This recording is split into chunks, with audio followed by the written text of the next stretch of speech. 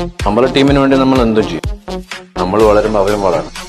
അതിന് ഏത് ലെവൽ വരുമ്പോൾ അതിനുവേണ്ടി നമ്മൾ എല്ലാ വൃത്തിയട്ട കളിയും കളിക്കും.